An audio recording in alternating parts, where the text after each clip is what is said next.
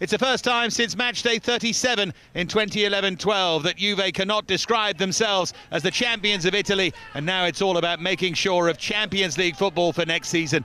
These Udinese players have worked hard to get the team safe for another season, and now they face what used to be the ultimate challenge, but what in this campaign... They're taking it quickly, Molina with the drive! Nahuel Molina stole in and he powers Udinese into the lead. Is this going to be Pirlo's Waterloo, I wonder? In from Cuadrado and headed wide by McKennie, who knows that he should have scored.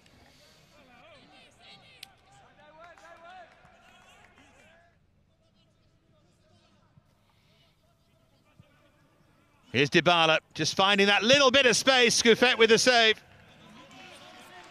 Good slaloming run from Dybala. I thought he was going to go cross the keeper, but Scuffet stayed on his feet.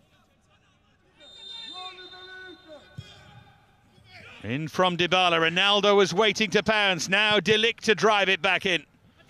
Scuffet off his line. De Ligt to tease it back in and flicked over by Ronaldo.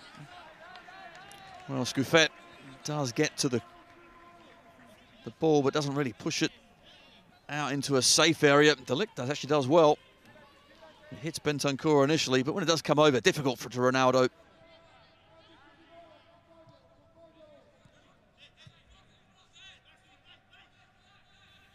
Here's Tolgay Arslan. Now Okaka. Juve need to be careful here. This is Tolgay again. Chance. Got the angles wrong. Had to go hard and low, back across goal.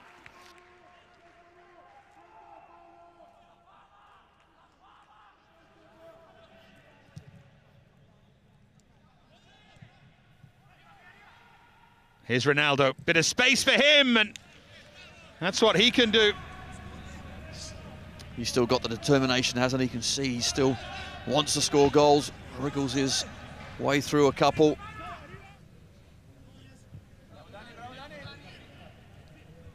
Stryger Larsen finding a little bit of space and curling it just wide.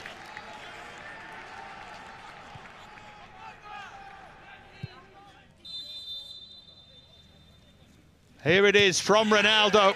Appeals for a penalty, and he's given it. An arm up in the wall, and Juventus have their lifeline. And just by the reaction of the players, you can tell it is handball. There's no one better. It's Ronaldo! Juve still breathing, still hoping. Here's Rabiot. Great strength there to hold off the challenge of Forestieri. And Ronaldo arrives to save Andrea Pirlo. He's still got it all Pirlo heading for the exit door, but then his superstar comes up with two goals in the driving, dramatic rain. So, a day that was drifting, in the end, one that feels significant. Ronaldo's day, Pirlo's day.